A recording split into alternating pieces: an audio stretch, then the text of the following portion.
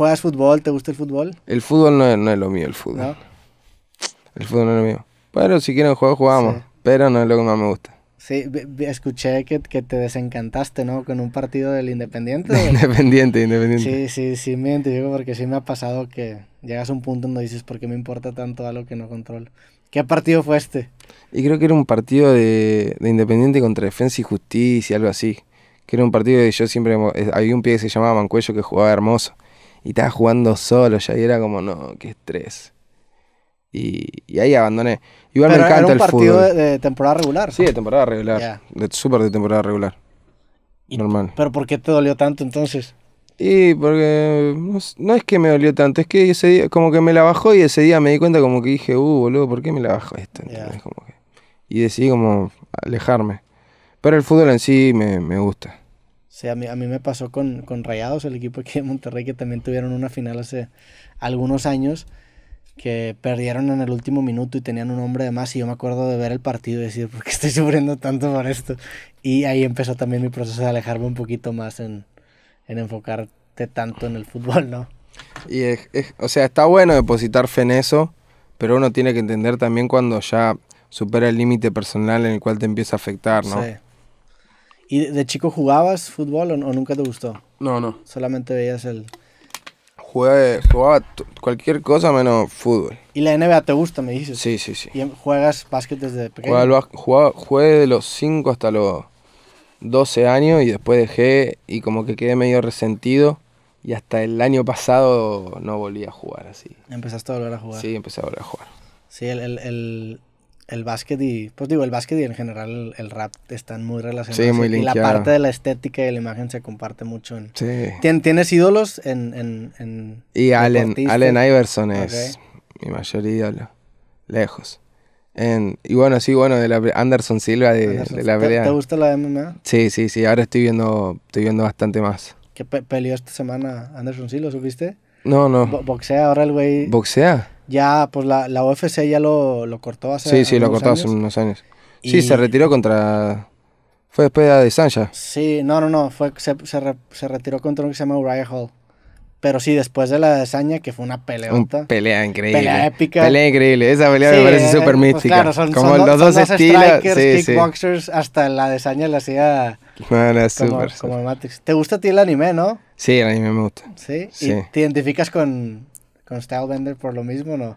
Que el güey es mucho, pues le dicen Stylebender por Naruto y tiene, Sí, tiene sí, como sí, que estas sí, sí. referencias muy orientadas. Eh, nada, no lo llevo tanto a la vida, la referencia y eso, pero sí me gusta. Siempre tipí igual con, con las, las peleas y todas esas Sí. cosas. Pero Anderson Silva en, en, en su prime Nada, era, era, una una, bestia.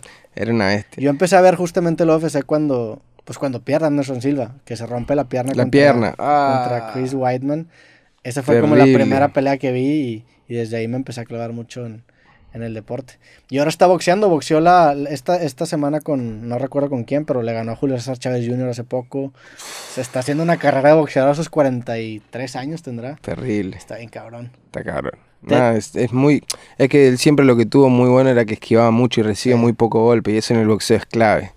Sí, pero y luego cuando, cuando, cuando la base de tus habilidades es pura, pura agilidad, la edad sí te hace que te lleve la chingada.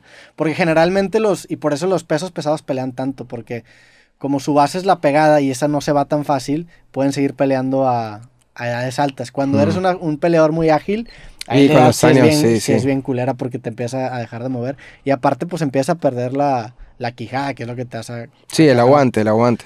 que acabaron noqueando justamente a Anderson pues en, su- en sus últimas peleas, pero pero ahí, ahí anda, yo sí, yo sí sigo mucho y ahora el tema del box que está bien presente con los con Jake Paul y los Ah, y todos que, los... Sí, que popularizaron bien cabrón ese tipo de, de eventos. De, de, de chico tú eras peleonero, no eras peleonero, eras bueno, no? Sí, era peleonero, ¿Sí? era peleonero. Sí, sí. desde, desde chico o no. Sí, de chiquito, de chiquito. Ya de, de muy chiquito. Y jugaba eso, poner Sí. también de chiquito. Y, y después ya de grande, bueno, me quedó el, el, el- el mal hábito. Sí. ¿Cómo, cómo fue tu infancia? Te- tengo entendido que tu, tu, tu papá es, de, es europeo. Este, No, no, no. O tu abuelo, ¿no? Mi, Escuché un, eh, o tu bisabuelo, perdón. mi bisabuelo, Sí. mi bisabuelo es, es italiano, sí. Sí. Venimos de, de, de una familia italiana. Bueno, italiana astrohúngara.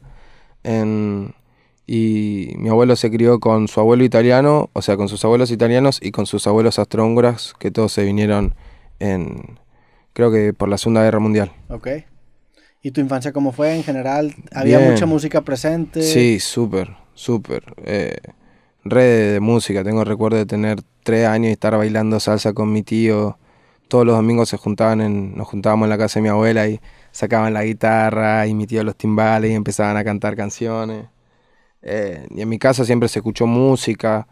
Mi papá, por ejemplo, trabajaba toda la semana y el domingo, que era como su día libre, a la tardecita noche se sentaba y se ponía música, su puchito, su café, luz tenue y estaba ahí en el comedor. Y era como su momento.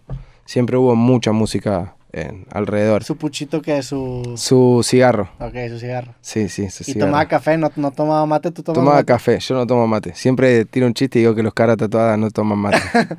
Porque no, no te gusta el mate. ¿Se toma No. mucho, mucho en Argentina? Sí, se toma mucho. Yo no, no, no entré nunca, la verdad, en la del mate. Soy más del café. Es raro, yo intenté probar o intenté hacer mate aquí en México hace como un año y me compré como... Te, te vendían como unos paquetes en Amazon de tres costales de mate y no siento que me salió muy bien. Pero hace poco justamente platiqué con Trueno y él, él- esa plática él sale tomando mate y hablamos de...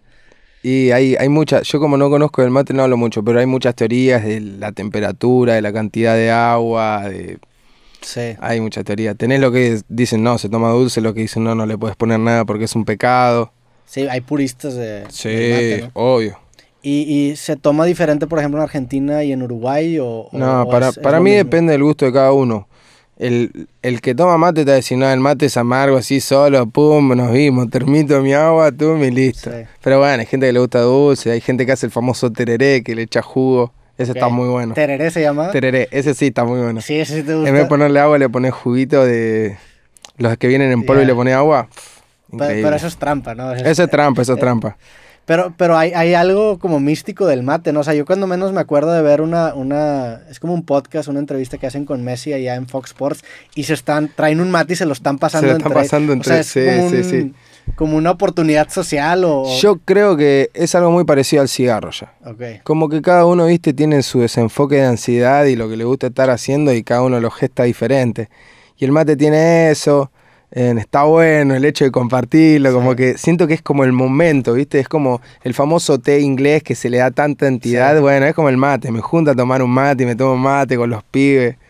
Es como ese, ese, te hace como, es como un momento cercano.